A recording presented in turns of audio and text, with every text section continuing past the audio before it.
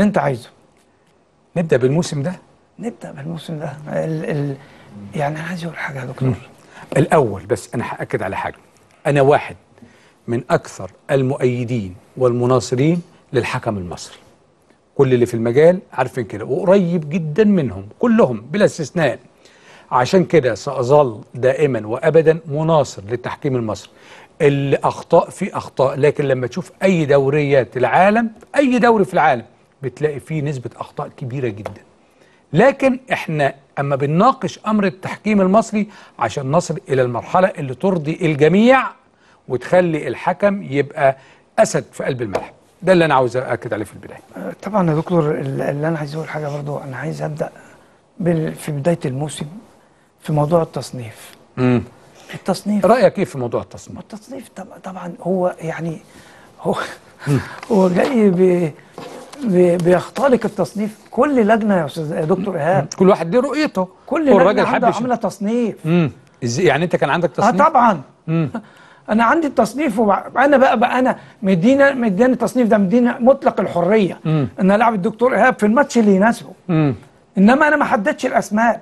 لا كون تحديد الأسماء بحرم المستوى الأدنى من الحكام الكبار. امم يعني أنا مثلا لو جينا اتكلمنا على دوري المحترفين أنا هنتكلم بحرية وناخد الرأي والرأي الآخر لو لو. جينا اتكلمنا على دوري المحترفين تمام انت حرمت كل الحكام الكبيرة مم. إنها تلعب في دوري المحترفين مم.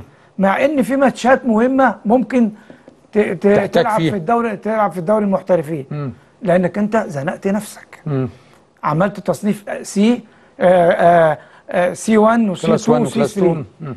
الثلاثه دول بقيت انت مر- مرغم على انك تلعب الحكم ال- ال- في class A للمستوى الألف class B للمحترفين class C للممتاز ب إيه ده؟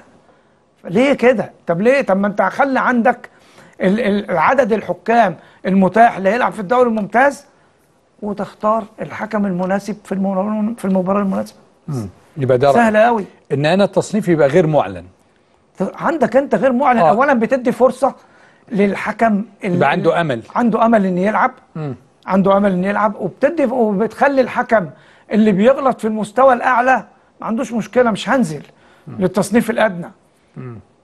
طب برضو في اتفضل. رأي تاني وأنت برضو تناقشني فيه. آه يقول لك إن التصنيف برضو بالصورة الحالية إدى فرصة لتوسيع القاعدة وإن هو خرج لك أكتر من حكم من تحت. ما كانوش هيتشافوا في ظل إن اللي فوق بيلعب فوق وتحت في كل الدرجات. يا دكتور إيهاب هي مش مش فتاكة.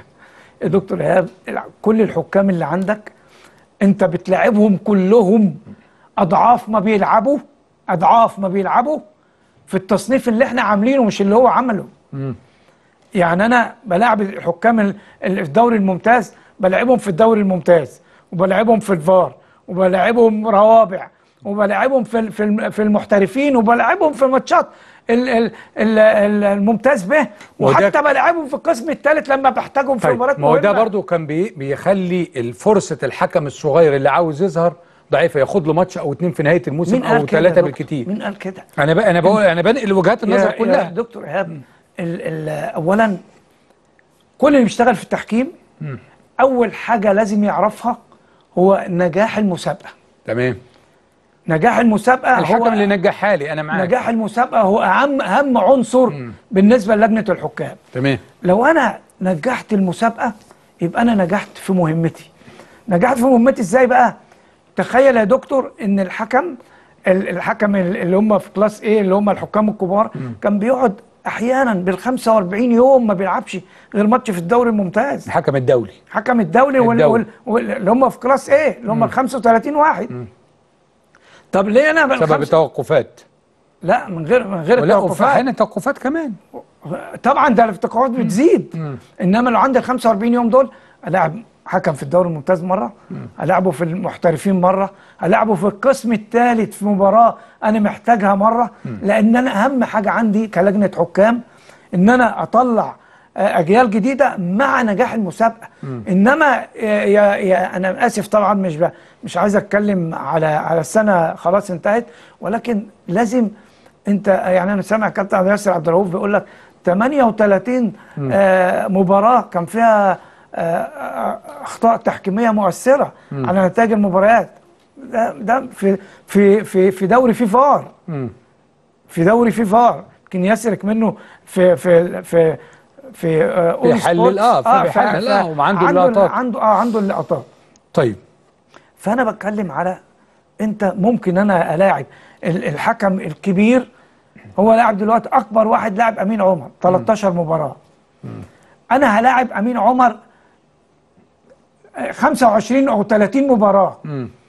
بس هلعبهم على كل المستويات ده وده وده وده. اولا ب- ب- بلعبه عدد كبير مباريات بخاف على على نجاح المسابقة. بلعبه في في المستوى الأدنى والمستوى الأقل. بديله خبرة خبرة أداء تحكيمي. بديله خبرة فنية بالبلدي كده. بيقول بيشم النجيله أفتكر مباراه كابتن محمود عاشور لما كان فترة إيقاف حكمنا الكبير وجه حكم